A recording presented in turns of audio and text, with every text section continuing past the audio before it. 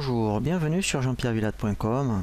Je vous présente un nouveau tutoriel sur EBP Compta Pro 2014 OpenLine sur la gestion de la TVA aux encaissements.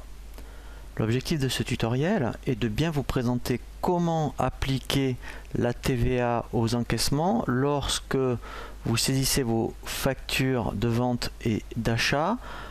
La TVA ne va pas être appliquée au niveau de la déclaration de TVA et justement grâce au paramétrage que nous allons effectuer dès que vous allez recevoir un règlement client ou lorsque vous allez effectuer un règlement fournisseur, la TVA va bien s'activer et elle va être bien prise en compte dans la déclaration de TVA.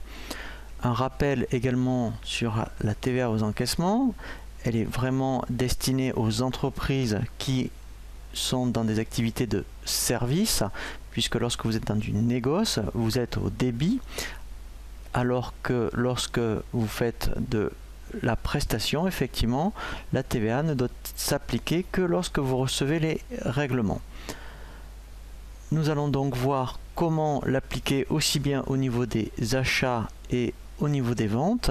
Et nous verrons également un autre cas particulier pour les acomptes, puisque lorsque vous recevez des acomptes, la TVA doit en principe s'appliquer.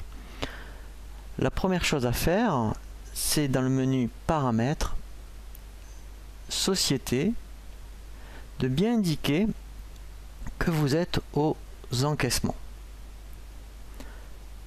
Dans les informations de TVA, la première chose à faire ici, c'est de bien indiquer le mode de calcul.